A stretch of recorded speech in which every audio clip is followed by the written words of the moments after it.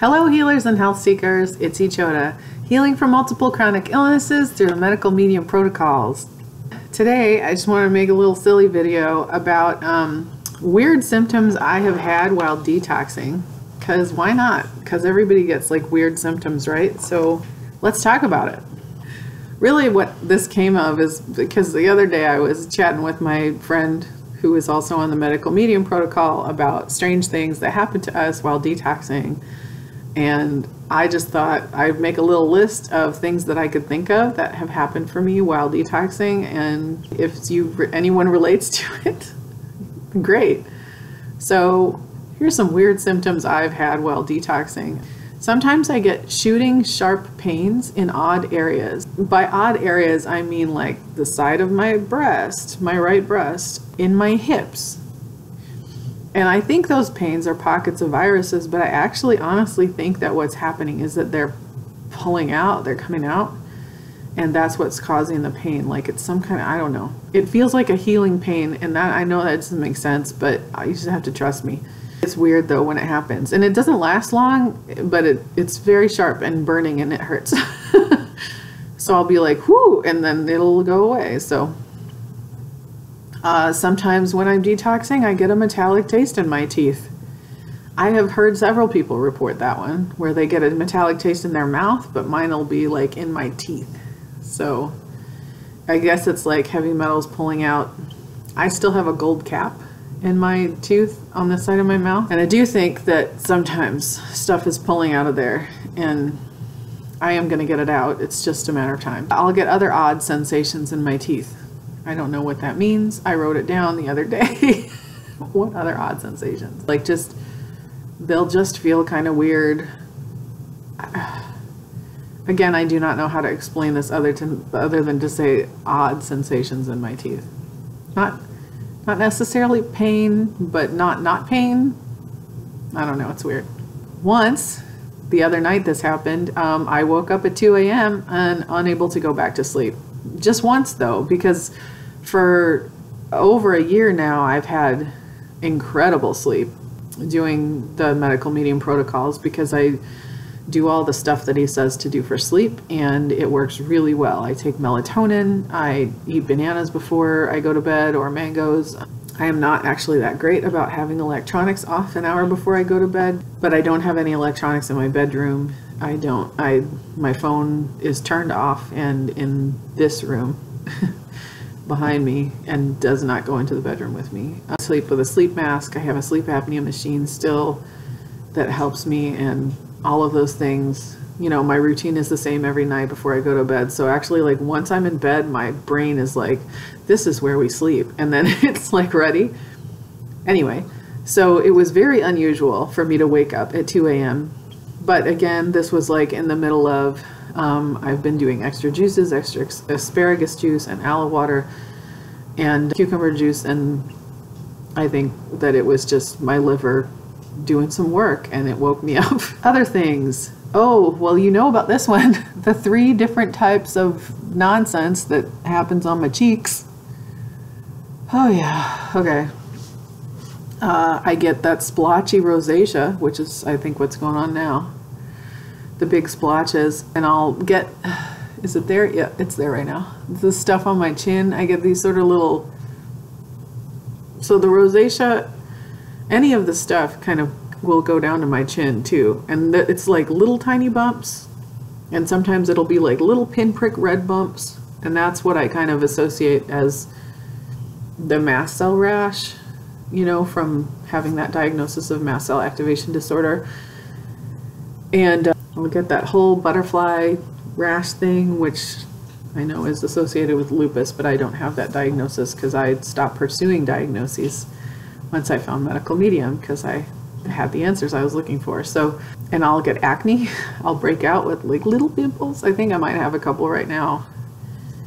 Right now I got all three stuff going on. Sometimes it's one or the other, but uh, right now it's, it's all of it. Yay, detox. Oh, Here's one lately that's been happening since I added lobelia and asparagus juice and ALA because the shingles rash got mad and it's angry and it's or not the shingles rash I'm sorry this shingles virus got mad in my body and my whole back has just been itchy. I have, when I first started doing medical medium, itching was one of the first things that disappeared. One of one of the first symptoms that, and it disappeared. And I was so happy because I had been itchy for a while. I had itching not just on my back, but like just different parts of my body would just itch all the time, and that is shingles. It went away really quickly after I started medical medium. However, recently when I added lobelia and uh, asparagus juice, I guess the shingles virus got angry and it's my whole back is just itching constantly. Like right now it itches right now. And so I just keep my back scratcher. I have a bamboo back scratcher and I just keep it. I have two of them. And I usually keep one in the bedroom and one out here. But um, that isn't, I don't need it in the bedroom as much. Like when I go to sleep, I go to sleep. It doesn't disturb me enough to mess with my sleep. But when I'm awake, I need that back scratcher nearby so that I can just and scratch my back a lot.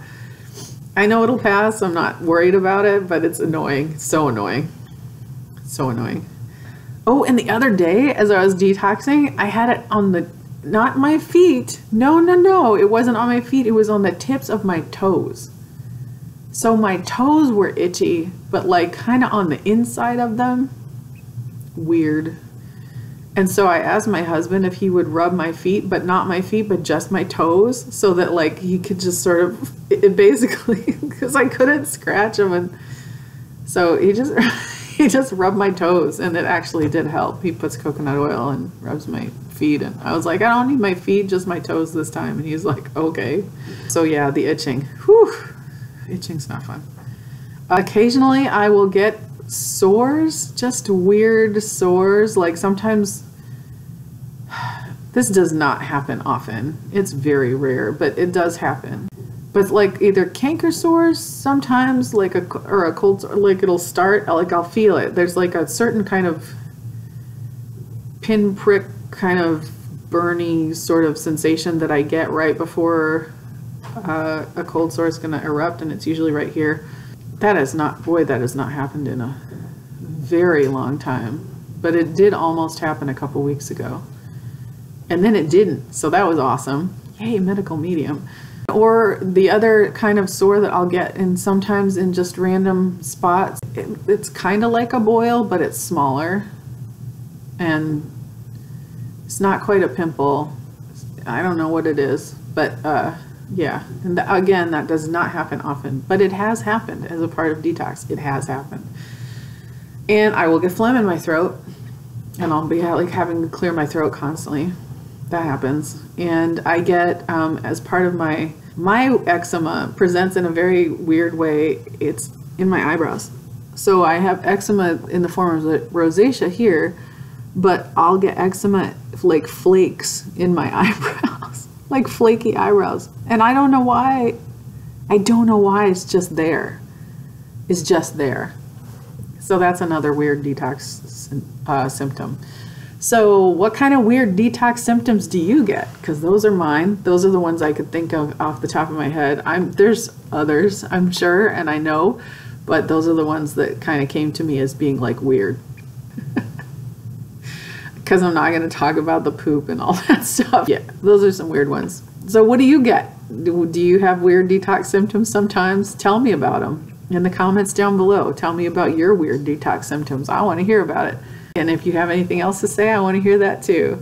Thank you for watching this video. Please give it a thumbs up if you like it. Uh, I'd love to hear your comments.